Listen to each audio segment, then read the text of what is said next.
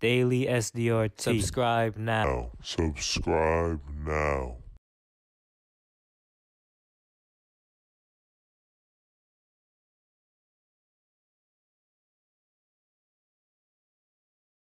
Hey guys, welcome back to the channel. And in this video, we'll be talking about NBA YoungBoy's artist P Yungin.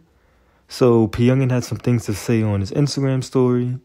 As you all know, P Yungin is NBA YoungBoy's artist, or at least he was, and they was real cool and with each other stuff like that. He was a part of NBA slash 4K Trey YoungBoy's crew. But a couple days ago, he posted this on his Instagram story. As you guys can see, P Yungin is not 4K Trey. So what y'all thoughts on that? Seems to something between YoungBoy and his crew and P Yungin seems to be going on. So how do you guys feel about that?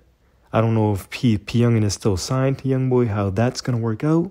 If he's now not claiming them. So what y'all thoughts? How do you guys feel about this?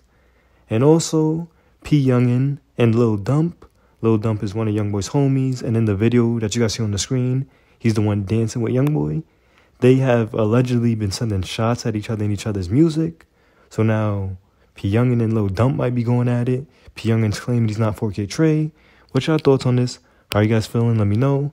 And I know I'm sorry. I haven't been active as of lately, but I'm gonna try to get back posting consistently.